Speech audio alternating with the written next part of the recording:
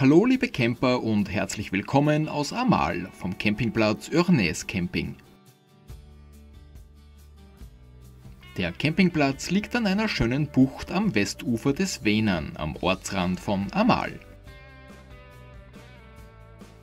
Am Ende der gut ausgebauten Gemeindestraße stellt ihr euer Gefährt am Check-in-Parkstreifen ab und erledigt am Rezeptionsgebäude die Anmeldeformalitäten. Danach geht's auf Kieswegen weiter zu den Stellplätzen. Auf diesem idyllisch gelegenen Campingplatz erwarten euch in etwa 70 Stellplätze. Diese sind im Wesentlichen in zwei Terrassenebenen unterteilt und bieten einen tollen Ausblick auf den See. Die Parzellen sind als reine Wiesenplätze angelegt und durch am Boden liegende Baumstämme vom Nachbarplatz abgegrenzt.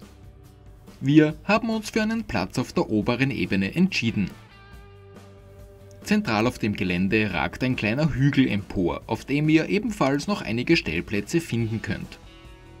Preislich unterscheiden sich diese nicht von den Parzellen direkt am Wasser.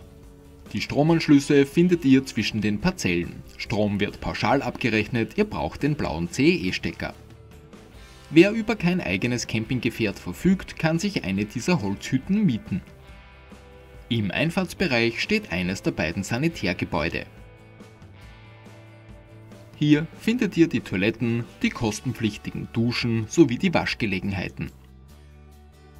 Dieser Bereich war bei unserem Besuch sehr sauber und gepflegt. Im Nebengebäude findet ihr die Koch- und Abwaschmöglichkeiten.